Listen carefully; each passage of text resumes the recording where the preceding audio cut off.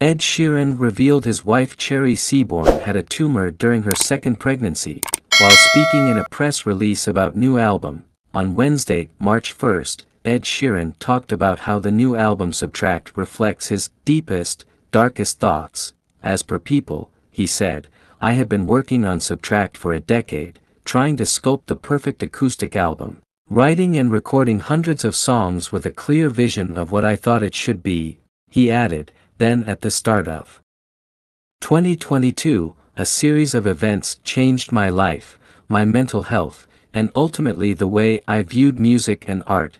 The Shape of You star spoke of what songs mean for him, writing songs is my therapy.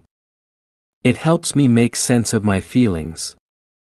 I wrote without thought of what the songs would be, I just wrote whatever tumbled out.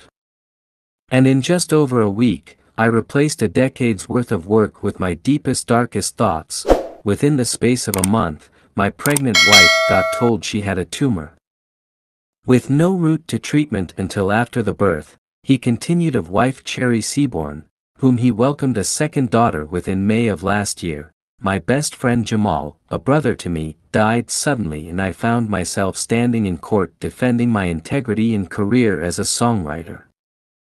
I was spiraling through fear, depression and anxiety, added the singer, 32,